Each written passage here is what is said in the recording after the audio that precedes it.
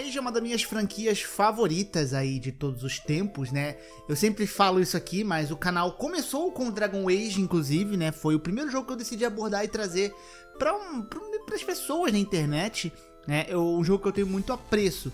Mas é inegável de que desde que o Dragon Age Vanguard foi anunciado, que era o Dreadwolf, né? Ele tem cercado um pouco de polêmicas, né? Embora eu esteja achando um jogo interessante, eu tô muito curioso para ver o resultado dele principalmente no quesito história, personagem, que eu acho que é o que mais agrada para mim no Dragon Age, o jogo vem sendo cercado de algumas polêmicas, né? O primeiro foi quando ele foi anunciado e a gente pôde ver o design do jogo.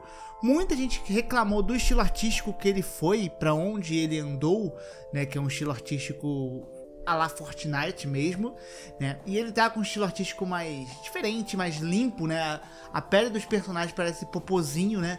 De, de neném aí. E, entretanto, agora saiu alguns previews, né? Do Veilguard e a galera tá reclamando dos, da customização de personagens e também da proporção de alguns personagens, tá? Então vamos comentar sobre isso aqui, porque são coisas um tanto... Ah, polêmicas, podemos dizer. Então, antes de mais nada, não se esqueça, deixa seu like, se inscreve aí no canal e vamos nessa pro vídeo. Bem, antes de a gente entrar na questão de customização de personagens, né, a gente tem bastante pessoas reclamando. É, na verdade, uma pessoa observou isso e depois é meio impossível desver. Em relação à anatomia, os personagens muito cabeçudos do Dragon Age, né? E aí os caras mostraram antes e um depois, né? Tipo, antes ele é assim, depois ele fica com a, eles tratar e diminuir a cabeça, mano, eu não consigo agora desver. Né? Quando você não tem isso daqui, você acha normal, mas depois você vê que realmente os personagens são cabeçudos, né, cara? Eles têm a cabeça outra tá avantajada aí, né? Ó, ele pegou aqui e colocou diversas pessoas aí. Isso aqui é mais de cômico para mim do que um problema, tá? Eu achei engraçado isso aqui, mas é algo que você não percebe, provavelmente você não percebeu e você só percebe depois que o cara faz isso aí vai lá e diminui, né? Eu não sei se realmente, né? Eu tenho que pegar e jogar para ver se realmente tá desproporcional ou se cria essa ilusão depois da gente ver um antes que os personagens parecem ser cabeçudo, mas na verdade diminuiu. É tipo você colocar sua voz em 2x e depois você escutar ela em 1x, sabe? Você acha que tá estranho, tá muito esquisita. Então pode ser isso, pode ser esse efeito, mas pode ser realmente um problema de anatomia. Mas eu não tô conseguindo desver agora, depois que eu olho para isso aqui, tá? É muito louco, muito engraçado ao mesmo tempo, né? Os personagens são muito cabeçudos olhando desse ponto aqui, tá? Mas vamos lá, esse aqui é só uma coisa que eu queria comentar que o pessoal tem falado, né? Que tá em relação aos personagens. Mas eu quero falar sobre a customização, né? A IGN cascou elogios da customização do personagem. No Dragon Age veio Guard, né? Cara, uma coisa que eu vou elogiar nessa customização aqui, né? O cabelo, tá? O cabelo eu acho que é um negócio que não tem como não elogiar. O cabelo, o movimento do cabelo, mano, tá um negócio muito maneiro, tá? Vamos, antes de a gente entrar nos problemas, vamos falar do cabelito. O cabelo, deixa eu ver se mostra aqui. Eu não sei se aqui mostra um outro momento que tem. Tinha uma customização que eu vi que ele mostra mexendo assim. Nossa, o, o movimento do cabelo ele tá bem realista, cara. Tá bem realista, tá? Enfim, o cabelo é algo que ficou bem feito pra caramba aqui, né, no Dragon Age. E é algo que eu acho que merece elogios da nossa parte, né? Mas vamos aos problemas, né? Os principais problemas aqui de customização, né? V vamos lá, vamos lá. Algumas pessoas estavam reclamando, tá? de você, por exemplo, poder colocar vitiligo no personagem. Eu acho que dá pra você colocar espinha, né, no personagem. Isso é algo que até tem no, no Baldur's Gate, por exemplo. Né? A gente pode customizar aqui o triângulo seguinte, que é o personagem mais forte, mais redondinho. Que entre nós. Beleza, é isso aqui, né? Não é tão, tão absurdo assim. Né? E a gente tem outras opções de customização aqui. Bem, deixa eu explicar para vocês o que eu entendo como uma boa customização antes da gente comentar e falar sobre a customização do Dragon Age. O que para mim seria uma boa customização? Para mim uma boa customização, um jogo que tem uma boa customização é quando ele tem bastante opção de você tentar se fazer ou você tentar criar um personagem, uma cópia de um personagem e você conseguir fazer.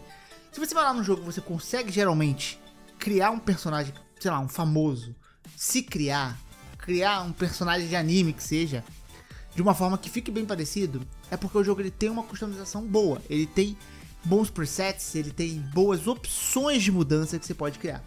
Então, eu não vejo nenhum problema, por exemplo, se no jogo você tem opção de vitiligo, você tem opção de espinha. Eu acho que falaram que tem, eu não encontrei aqui, mas falaram que tem opção de você colocar celulite no seu personagem.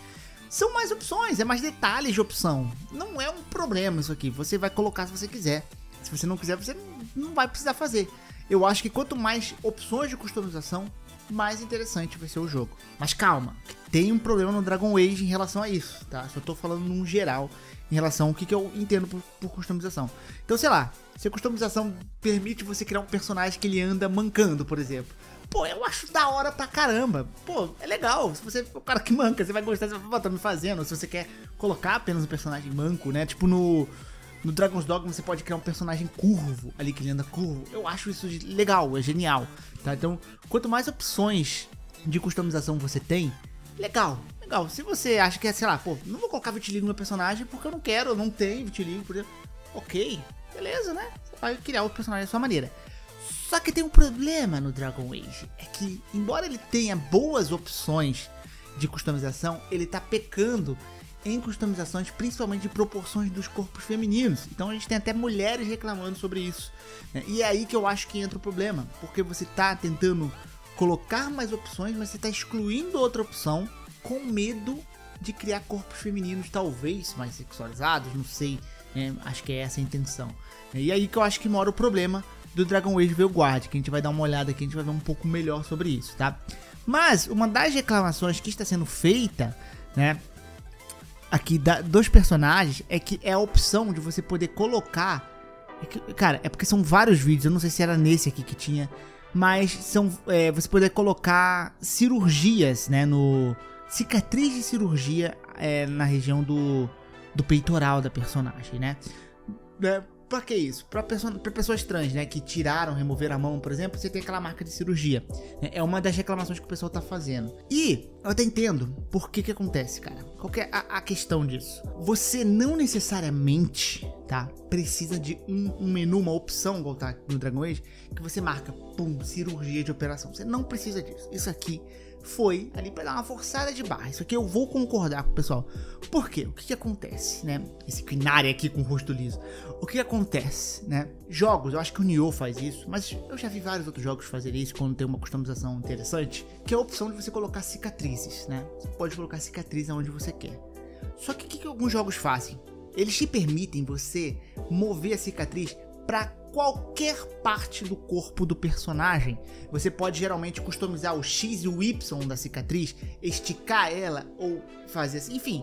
Com tatuagens também ser permitido. É, só voltando no Kinari. Olha como que era o rosto dos Kinari e como que tá no Dragon Eles estão muito lisinho, né? Isso que tá engraçado também. Enfim, você poder mover a cicatriz para onde tu quer. Então, se você, pô, é uma pessoa que fez esse tipo de cirurgia, vamos supor. Ou sei lá, você é uma mulher que tem um cesárea, né? E você quer colocar isso no seu personagem, você quer fazer um negócio fiel, 100% fiel ao seu personagem, com essa opção de você pegar uma cicatriz e você mover para onde você quer, isso estava resolvido. Você não precisa necessariamente de uma cicatriz de operação, né? Então foi algo meio que falando, ó, oh, gente, olha como aqui a gente quer incluir vocês aqui, né? Mas ao mesmo tempo a gente não liga muito para isso não, como muitas empresas fazem, né? Então esse é o problema, né, dessa questão da cicatriz.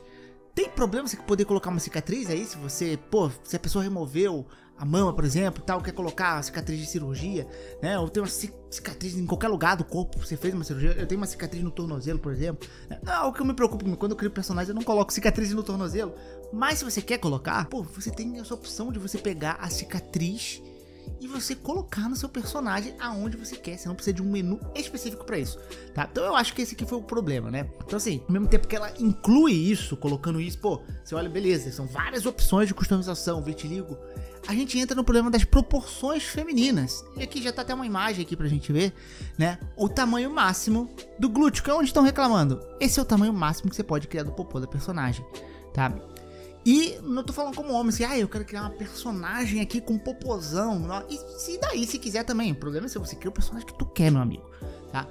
O problema é que isso não representa a realidade, tá? Não representa, cara. Tem muitas mulheres que têm o popô muito, muito maior que isso aqui, tá? E isso aqui entra na questão, porque a gente vê até. Eu tô vendo bastante mulheres reclamando sobre isso, né? Que não, conseguisse criar um quesito corpo do jeito que elas querem. Talvez o jogo tá com medo de as pessoas criarem personagens sexualizadas né, aqui no jogo. Eles devem estar tá com medo disso, né? E aí eles estão capando uma customização que era para ser mais livre. E aí que eu acho que é o problema, porque você cria uma customização ampla em um ponto e você capa do outro, aí você tá errado, meu amigo. Aí eu acho que tem um problema aqui. É, isso exclui, principalmente, por exemplo, pô, pessoas latinas, cara. Que pessoas latinas geralmente têm um pouco mais avantajado, né? Nos Estados Unidos também, né? Tem. Isso fica ruim. Se você tem, por exemplo, um quadril muito largo, você não consegue fazer um quadril mega largo aqui no jogo. Enfim, vocês entenderam, né? Você não consegue fazer proporções femininas. O, o tamanho do, do, do, peitoral também, né? Ele vai um pouquinho mais do que isso daqui. Ele tá já em 45%, tá? Também não é quase nada, não é quase nada, porque aqui não, ele não tá mostrando pra gente. Mas se você for ver, ó, isso aqui não é nada, cara. Isso aqui é pro tamanho máximo, velho. Isso aqui é pro tamanho máximo. No Brasil, isso aqui é, não é nada, né? A gente sabe como é que é, não é nada. Então, assim, isso acaba excluindo outras opções de customização. E, cara, eu tô vendo a maioria das personagens, né? Elas parecem um corpo, às vezes, personagens de pessoas que faz crossfit, né? Que é aquela cintura mais reta, você não consegue fazer um negócio mais violão se você quiser, né? Ah, isso é corpo real. Isso não é corpo real, gente. Tem muitas pessoas que têm um corpo mais violão, um pouco mais avantajado. É normal, cara, é normal, tá?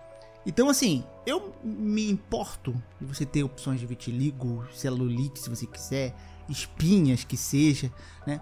Óbvio que não.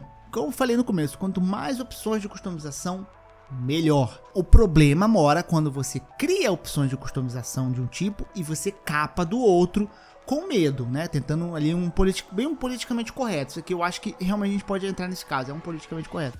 Com medo de criar um corpo muito ali avantajada e falar, ah, objetificação, blá blá blá, né? Sendo que você está excluindo mulheres que tentariam se criar também, tá? Então você inclui um lado e você exclui o outro. Então eu acho errado. Nesse ponto eu acho realmente errado. Eu acho que pecou e bastante essa customização.